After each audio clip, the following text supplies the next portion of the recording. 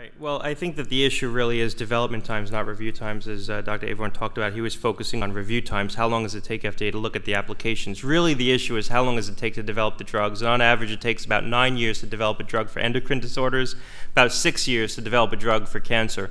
You have to go through typically three phases of clinical trials. The first phase is looking for proof of activity. Second phase is And, looking and what you do is you go and you get a group of patients, maybe 25 patients? depending on the disease, you're either doing it in healthy volunteers or in sick patients. If you have a drug targeted to a, um, you know, a, a rare cancer or something that's uh, fatal, you're going to put the drug in phase one in patients who are already sick. But typically, if it's a drug targeted to, let's say, hypertension, you're going to put it in healthy volunteers. And in phase one, you're looking mostly at safety. Although you're starting Okay. to look at issues of efficacy and you're starting to look at issues of dose. Phase two, you're looking at Phase two, you're looking at proof of concept. You want to see if the drug works. You're not necessarily assessing the clinical outcomes in the clinical trial, but you're looking at indications that the drug is having the activity that you anticipated. And that's more people. And that's more people. And depending on the disease you're looking at, it's anywhere from, it could be a couple of hundred in a cancer trial to, you know, 5,000 in a, a primary care drug. Phase three. Phase three is the pivotal trial. It's the reg- registration trial. Depending on the disease you're looking at, it could be a couple of thousand patients in a cancer trial at a cost of about $100,000 per patient enrolled in the trial. And in some cardiovascular trials, you're looking at trials that enroll 40 or 50,000 patients. And there you're looking for statistically rigorous evidence that the drug has a clinical effect on the desired outcome. Okay, does this side agree that that's essentially the structure of the classic trial since 1962? Yes, with, with the proviso that Dr. Gottlieb said something very important, which is how much time does the company take to develop a drug, as opposed to the matter at hand, which is how long does FDA take to review it, which is really what we're But- concerned with. But, but, that's- but Oh, you oh, can't. oh, whoa. just, I'm going to let this unleash in just a second. I, so I just, I, I, I personally felt I needed to hear that to understand what the heck it is we're talking about. We Um, don't yet. Um, so thank you for that, and I'm glad that you mostly agree with it. But before we debate the specifics, because I think debating the specifics is what we're going to be doing, I just want to take the large question to this side that this side put to you, which is that that system that they described, they are arguing. I'm going to call it the slow track. You can ob- object to that language. I just want to distinguish it from the fast track. They're saying the fact that the- fast track had to be developed uh, and I think this does date to the to the mid- midst of the AIDS crisis, and was accepted, and it worked, and drugs got out there, and they saved lives. Establishes that that regime, that one, two, three trial thing since 1962, is a problem. It's slow. It's not saving lives. And I want it, I want to take that point that the existence of a fast track actually wins the debate for them. Uh, Jerry Avorn. I think it was helpful that Mr. Huber gave us his views about the FDA approval process in that regard. I think it was less helpful when he gave the audience my views about that because you got it wrong. In my book, I indicated that yes, the fast track did come from AIDS activists scaring the hell out of the FDA because they were so horribly slow. And that was a good thing. And that happened in the late 80s and early 90s, and FDA got better because of that excellent pressure from the AIDS community. And in the presidential panel's report that you mentioned, that advocates that FDA needs to figure out more creative ways to move forward in that direction. That's also something I approve of because I was on the panel that helped write that report. So, indeed, this is something good, and we got to not fight the last war and say it was terrible in 1989, and now we have a fast track and keep complaining about how things were in 1989.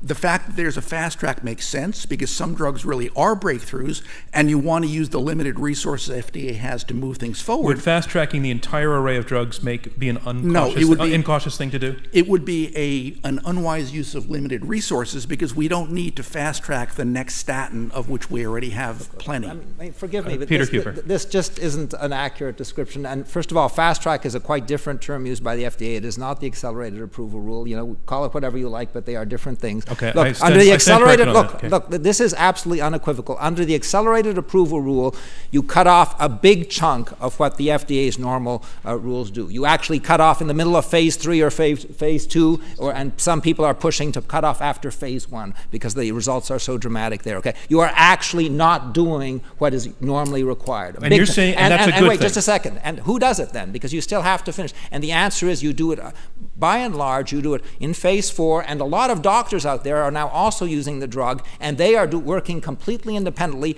And they are the ones who are using the modern tools to work out how to fit these these rather simple drugs to our extremely complex bodies. They're finding the biomarkers on efficacy and safety. These are all emerging later. They are getting the precision medicine, and nowhere else in the FDA protocols do you get that. It never emerges during the standardized conventional protocols. You are blinded all the way through. There is no Bayesian adaptation during the trials. There's you what? Just, Wait, I don't. I don't you just know. don't get the information. No, okay? no, I, I'm not saying it to mock you at all. I'm saying it because I don't understand and you're using terms of art, which, if you took a minute to explain, actually would help us would all. I, I put in one word Bayesian. That means that It you're threw me, actually. Frank. you're- you're- I was lost. It, it means you're. It means you're actually looking at the data as you go and learning from it as you go and adapting to it. And the FDA Okay. is so concerned about something called selection bias, they don't allow it at all. Okay, so I would just add to that that the FDA has actually been backing away from the accelerated approval ru- rule in recent years, so much so that Congress had to recodify it in recent legislation and say, we really meant it, we want you to use this to try to Okay, but just for me, for me to understand, because I'm getting the gist of it, you think that's a good thing? This is a good development? Because I uh, want to say to these it is- guys, what do you think of that? It is the only place we are actually developing modern drug Okay, science all down right. at the molecular What about level. Nowhere David else Challoner, are we what about their the argument FDA. for accelerated approval? Well, I have trouble with that unless it's linked uh, on the other end with post market surveillance. I mean, if you're going to short circuit the safety of the public on the front end of these approval processes, whether for devices or for drugs, then you've got to make sure that you have a credible early warning system on, you know, to prevent the Russians from coming in over the, the, from the Arctic Circle, but an early warning system that will allow the im- immediate understanding of the various communities involved here to feed back to get that drug or get that device Why do you call it market. short circuit the safety of the American public? It's very pejorative. That is pejorative. Well, if you're going to short circuit on the front end, assuring But, but why, short, why, the- I think their term would be make it more efficient, um, save time, save lives. You say short circuit safety. Why, why do you think it's you're saying it's dangerous? Why? I think it's dangerous because unless you can have early detection of problems on the on the post-market side, you are endangering the public. Look, and, and I couldn't agree more, but let, let me tell you something. The, the, the whole notion that you convene a group of patients of a certain size and you test them for a certain time and then you make a declaration of a drug is a pure artifice of the kinds of statistics that the FDA uses in its conventional protocols. It's the frequentist trial. If you forgive the jargon, but the alternative I've been discussing is typically called Bayesian trials, and those are completely open ended. No serious Bayesian says we will stop after a certain time and a certain number of patients. You keep feeding the data into the system forever and you keep refining forever and and and you put it in massive computer da- da- databases which people are already doing and and that's the process and you, you can have separate calls on when people can be in charging or using the drugs but that's how you do the science All right. And the fa- the- the Well, let me, let me go to Jerry Avorn. Jerry Avorn, are Yeah, you a but it might Bayesian help- or an anti-Bayesian? Um, Actually, I, I think there's a lot to be said for Bayesian analyses, and I know that FDA is interested in learning more about it, but that's a little arcane. Yeah, let's not. Uh, maybe to, to give a concrete example of how, I mean, who could be against rapid assessment of drugs? And I can give you an example of why we can sometimes think that that's not a great idea. Uh, there was a drug approved at the very in the last couple of days of 2012 uh, for tuberculosis. Uh, and the FDA approved it based on a, an accelerated review in which it looked at what we call a surrogate marker. That is, not did it make your tuberculosis better, but did it change some lab test. In this case, it was about how much TB bug was growing in your sputum. And that seems like a good idea because the law requires that FDA then has to follow that up with a real clinical trial where you actually follow patients and ask, does their TB get better besides does their sputum get better? Um, the problem, I have a longer article about this in, in the Journal of the American Medical Association a couple of weeks ago. The problem is that the FDA sped through that, approved the drug because it made the sputum get more sterile of TB drugs a couple of weeks sooner than placebo did. The only problem was that there was a five times greater death rate in the people given this new drug than the people given placebo, and most of those deaths were from tuberculosis. What about the follow up study that the law requires FDA to do? They told the company, we want you to come back with a real clinical trial about this drug, and we want it on our desk by 2022. I think that suggests that the FDA can sometimes go too far in that direction. Scott. Dudley, the scenario, the scenario laid out to you, it's very compelling, it's very concerning.